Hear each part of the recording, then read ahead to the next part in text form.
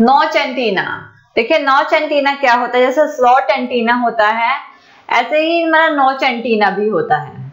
इसमें एक शेप की नॉच होती है। एक अप्रोक्सीमेटली शेप्ड होती है शीट होती है। ये ओपन एंडेड स्लॉट एंटीना होगा।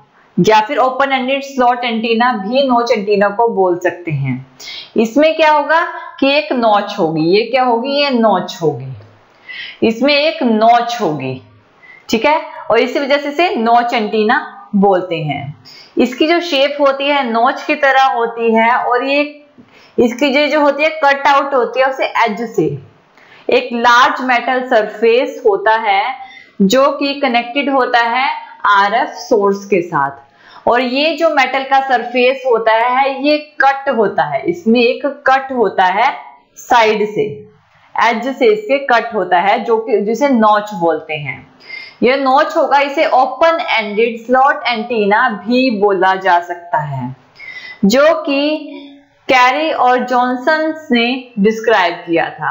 इसमें थ्री एक्सिस हैं X Y and Z axis इसके अकॉर्डिंग देखिए, ये एक ब्रॉडबैंड रेडिएटर है, जो कि एयरक्राफ्ट में रेडिएटर्स की तरह इसका यूज़ किया जाता है। देखिए, इसमें क्या है कि थ्री एक्सिस है। इसके अकॉर्डिंग सेंटर में हमारी नॉच होगी। इसके सेंटर से जेड एक्सिस के क्रॉस जो एंगल बनेगा, वो थी फाइव एंगल होगा। और यहाँ पे वाई के अक्रॉस इस लाइन पे जो एंगल बनेगा, इस पॉइंट पे, किसी एक पर्टिकुलर पॉइंट पे, जहाँ तक रेडिएशन होती है ना ई e फाइव और ई थीटा जो उसकी फ़ील्ड होती है। ठीक है ना? तो देखिए, ये इसका डायग्राम है ओपन एंडेड स्लॉट एंटीना का या फिर नोच एंटीना का। जो ई e थीटा है, वो एक पर्टिकुलर प्लेन पे होगा, ठीक है एक्स एक्सिस के। और ई फाइव जो परपेंडिकुलर होगा, किसके? एक्स एक्सिस के, ठीक है ना? ई फाइव जो कि परपेंडिकुलर होगा एक्स एक्सिस के। तो इसमें इसका जो रेडिएशन पैटर्न है, किस फॉर्म में बनेगा? देखिए, ये जिसकी जो फ़ील्ड पैटर्न होता है नोज़ का, वो सेमी इनफाइनाइट स्क्रीन होगा। इसमें एक्स और जेड एक्स और जेड प्लेन जो होगा, यानी कि ये वाला प्लेन और ये वाला प्लेन एक्स प्लेन और जेड प्लेन स्क्रीन का। वो नॉर्मल टू स्क्रीन वो स्क्रीन में होगा, यानी कि स्क्रीन फॉर्म में होगा। जबकि y और जो z होगा, वो नॉर्मल टू स्क्रीन होगा। ठीक है ना?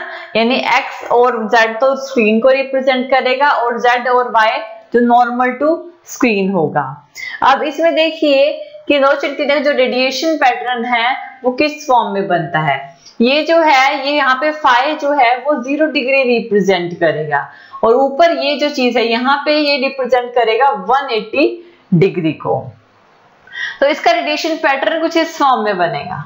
सेंटर से सर्कुलर आएगा और सर्कुलर फॉर्म में नीचे आके बनेगा। ये इसका रेडिएशन पैटर्न होता है।